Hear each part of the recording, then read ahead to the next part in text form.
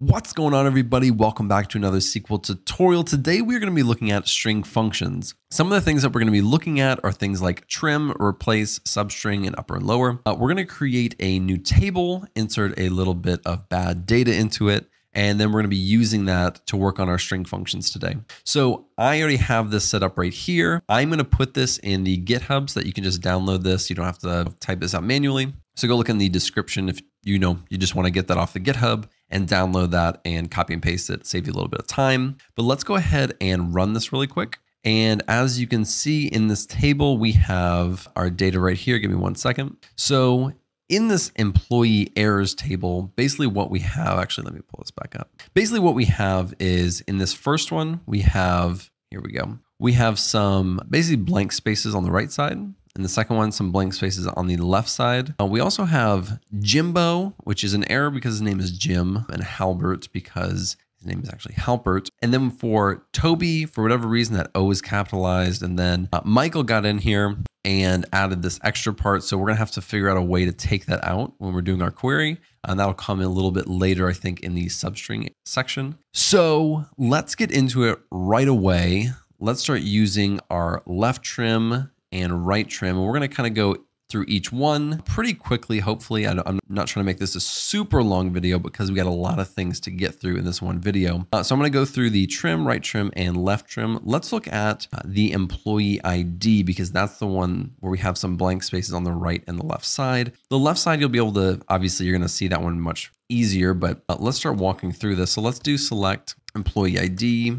And before we get any further, let me just get the employee errors on here so we can so that we can see everything as it comes up. So we're just going to do trim and then type in the column that we want to uh, take these blank spaces out of. That's what the trim does. The trim gets rid of blank spaces on either the front or the back or, or the left and the right side. So on both sides, that's what trim does. And we'll say as ID trim. So let's run this one really quick. And as you can see, this is our regular employee ID. And so, you know, you can't visually see it as easily on this first one, but there are blank spaces after this 1001 and we got rid of those. And then there were blank spaces before the 1002 and we got rid of those. Now I'm just going to copy this two times because it's basically the exact same thing, but I'm going to show you them all at the same time. So it's the exact same thing except L trim and right trim. Uh, and let's take a look at all these at the same time. And let me pull it up. So in the, let me see if I can get these all in here. Okay. In the trim, it got rid of both the left and the right side. So all of these were fixed. In the employee ID for the left trim, we're only going to be getting rid of this one. This one still has blank spaces on it. And when we do the right trim, we're only going to get rid of the stuff on the right side. So this one doesn't change because this is on the left-hand side where the blank spaces are. So this one was fixed. Again, it's not super visual, so you can't really see it, but that one is fixed. Let's move on to the next part, which is using replace. So for this one, we're going to be looking at the last name. So let's go back up really quick to the employee errors. As you can tell, the last name, the biggest one where we kind of want to take something out of because we don't want that, that dash fired still in there, we're going to replace that. And so let's look at how to do that. Let me just copy this real quick and get rid of this top part. Um, so we're going to do the last name. So let's just start off with our last name and then just as a baseline so we can see what it looks like before.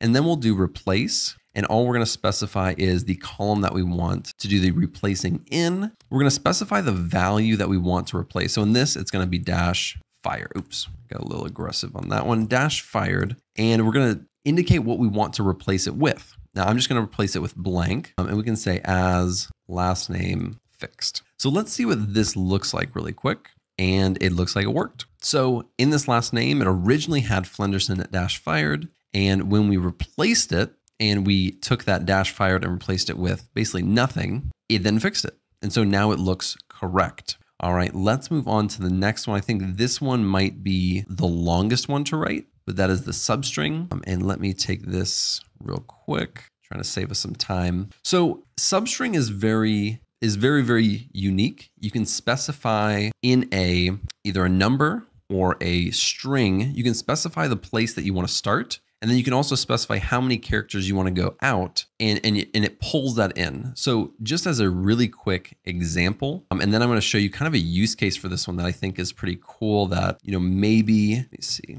So that maybe that you'd find useful. So I'm going to do first name and then I'm just going to do one comma three. So it's going to take the first name. It's going to start at the very first, very first letter or number, and it's going to go forward three spaces or three spots. So let's just take a look at what that looks like. So for our table, it's going to take Jim, Pam, and Tob or, or Tobe for Toby.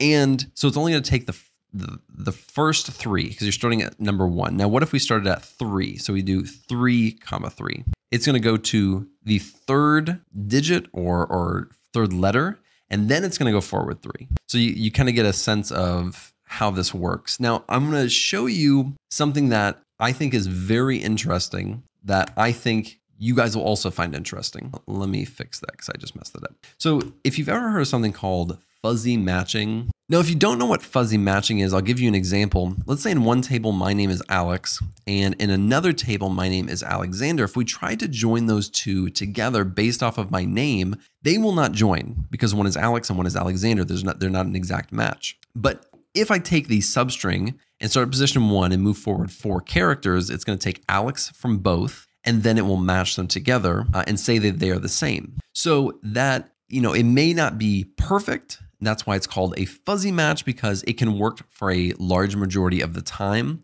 but it's not going to work every single time. And so I want to show you how we can use this here. Really quick, I need to join this to the demographics table. So I'm going to do that really quick. Bear with me for just one second. Let's try to make this at least look somewhat good. So what I'm going to do is I'm going to start off by saying, let's tie it to the first name. Uh, let's do, whoops, let's do first name is equal to the demographics table first name. Okay, so I want to see, and I'm just going to do first name for, and let's do the first name. So let's see what comes up when we do it like this. So the only one that is going to work is Toby. And that's because even though it has a capital O, it's still going to take it. So, you know, we want to get all of them to match. And we can do that, but it's going to be in a little bit of a different way than maybe is perfect but that's why they call it fuzzy matching. So we're going to use substring on this. So I'm going to say substring. Oops, let me spell that right. So I'm going to say substring and we're going to go one, three. So starting at the first position and going forward three. And we're going to do the exact same thing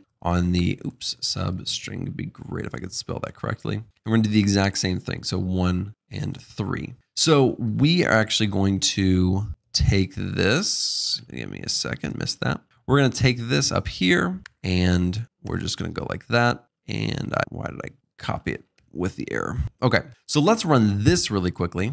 And as you can see, it is now going to match all of them. And you can do this on a lot of different things. Typically, when I'm doing a fuzzy match like this, I'm not just going to do it on a first name, right? Because there can be a ton of people named Jim you know, we want to do it on, and, and real quick, let me actually show you what the originals looked like just to make sure I hit the, the point across. And that is going to be first name and come. All right. So real quick, let's actually look at this. So it originally was Jimbo, Pamela, and Toby. Uh, and this one was Jim, Pam, and Toby. And so when we just took the first three, because it was Jimbo, it then becomes Jim, it was Pamela, it becomes Pam. Now it matches. And so that's what that's kind of the example that we're going for.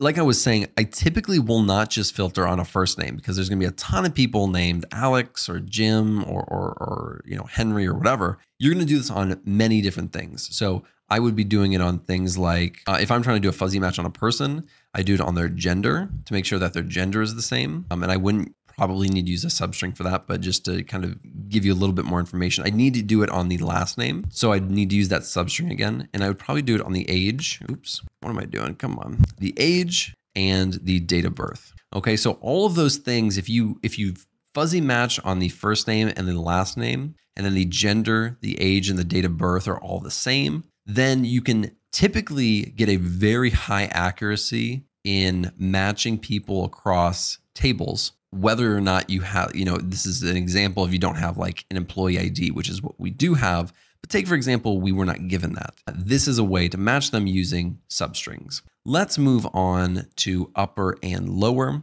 all upper and lower is going to do is basically take all the characters in the, the text and make them either upper or make them lower. So it's very self-explanatory. Let me copy this up here and we will get going on this one. Uh, let's just look at the first name. Specifically, we're going to be looking at Toby right here. So let's do first name. Let's do lower. And all we have to do is put in the column that we want to do. So this is our original first name. And it then takes every single string that is in here or every single, I guess, character and, and it makes it lowercase. That's all it does. And it is the exact opposite when we do upper. So we can now take a look at this one and now everything's going to be capitalized. So there is a lot that you can do with these string functions, and this is not all the string functions that there are. There are a lot more, but I would say that these are the more popular, more useful ones that I typically use on a regular basis.